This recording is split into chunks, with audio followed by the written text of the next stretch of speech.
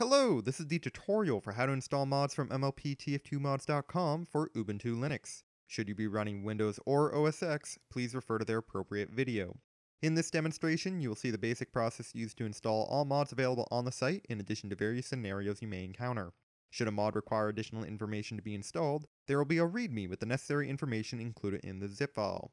While many aspects of the Linux platform already requires that users have a more advanced understanding of how to use their operating system and its applications, this tutorial is designed so that even those with a basic understanding of computers may achieve the goal of installing mods for Team Fortress 2 on Ubuntu. That said, should you use an alternative file manager or program to extract compressed files other than the system default, you are responsible for resolving the differences you may encounter. It is also worth noting that while this tutorial is designed for mlptf2mods.com, it can be used as a general reference for installing all Team Fortress 2 mods that are distributed in VPK format. With that said, let's get started. The first thing to do is download some mods. For this demonstration, I've downloaded Spike Spade, a reskin for the Soldier's Shovel, the Team Colored Wonderbolt Wind Guards for the Scout with various replacement options, and the Ponybooks mod that replaces the Intel briefcases. Take note that the numbers following the names of the mods denotes the date that the file was last updated in year, month, day format. It can also be observed as a version number. These mods will demonstrate the variety of different situations you may encounter when installing mods from the site. Next, we open up a new Nautilus window to navigate to our custom folder. For those unaware, Nautilus is the name of the default file explorer included with Ubuntu. Depending on what file system and install path you chose to have both Steam and Team Fortress 2 installed to, your file path may vary slightly. For this demonstration, we will assume Steam and TF2 were installed to the default file system using the default file path. Before we can continue navigating to the custom folder, we must decide how we want to get past the hidden folder. There are multiple ways to do so, and it is up to you to decide which is most convenient for you. First, you can go up to the menu bar, select View, then Show Hidden Files.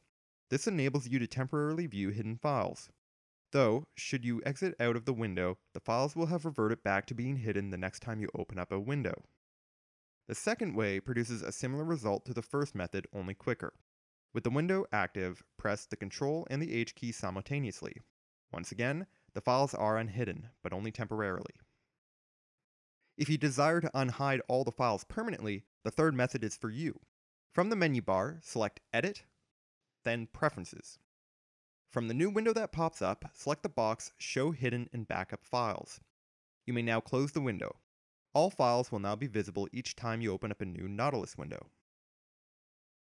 Finally, should you wish to only unhide the folder related to accessing your custom and other Steam related files, there is a solution.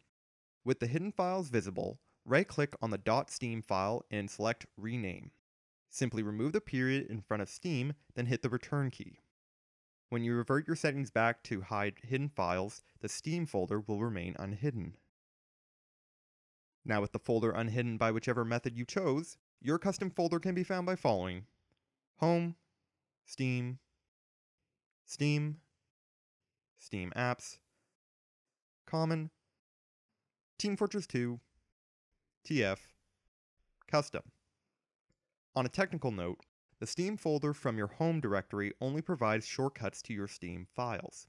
The actual folder structure to the Steam folder is as follows home.local share steam. The custom folder is where all of your mods are hosted. For this demonstration, there are currently no mods installed. If you ever wish to restart Team Fortress 2 clean up all modifications, simply delete the folder titled Custom and create a new folder titled Custom in its place. Now that we have both the mods downloaded and custom folder open, we are ready to start installing the mods. First, I'm going to install Spike Spade. Start by opening the zip file by double clicking on it. A new window will open displaying the contents of the zip file. In this window, you can see the mod's VPK file. For those not familiar, a VPK file is a package of multiple files to allow for easy storage, distribution, and installation of mods and other add-on content for Valve games. Whenever this tutorial references VPK files, these are the files it is referring to. Continuing with the installation, simply click and drag the file over to the window open to your custom folder where you may release the mouse button to copy over the file. Now that the VPK file resides in your custom folder, it is what we refer to as being installed. It is that simple. Next up is the Wonderbolt Wind Guards. This particular mod gives you the option to replace multiple items. Upon opening the zip file, you will see a list of folders with matching names of hats and miscellaneous items, and a README text file containing basic installation instructions.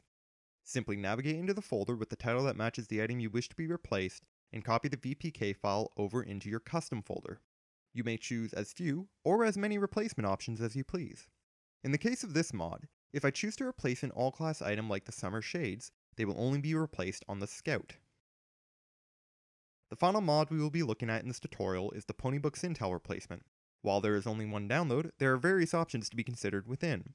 Like the Wonderbolt Wind Guards, this zip file also contains a README file with basic installation instructions. The first thing to do is open up the folder titled Book Materials.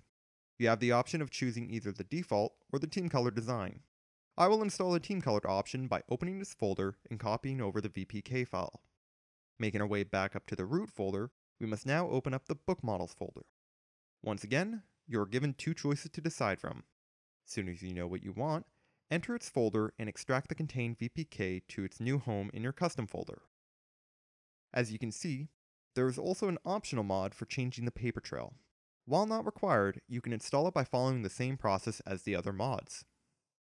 So as you can see, installing mods on Ubuntu is a relatively simple task with a few divergences here and there.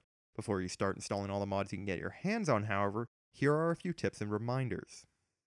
First off, all mods downloaded from the site are client-side and legal for use. Only you can see the mods when playing, and you cannot be VAC banned for possessing them.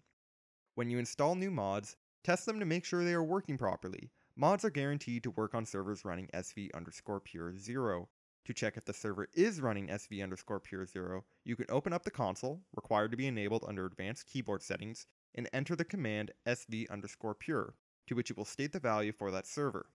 By default, when you launch a map from the console or start offline practice, sv underscore pure will be set to 0 making it the best option to test new mods.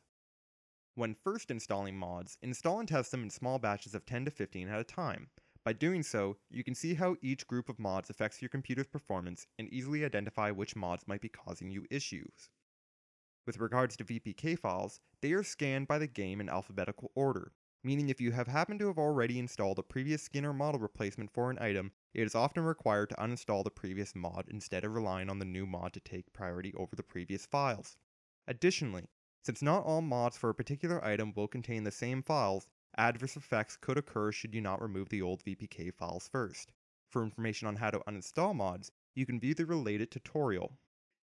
If you intend to be downloading new mods frequently, it would be a useful idea to add your custom folder to your bookmarks in Nautilus for quicker access in the future. From your custom folder, select Bookmarks from the menu bar, then click Add Bookmark. Now you can easily navigate to your custom folder from anywhere within Nautilus. Should you still have any remaining questions, be sure to check out the site's FAQ related to installing mods. Links to the FAQ and other resources such as our email can be found in the video information below. Thank you very much, and enjoy!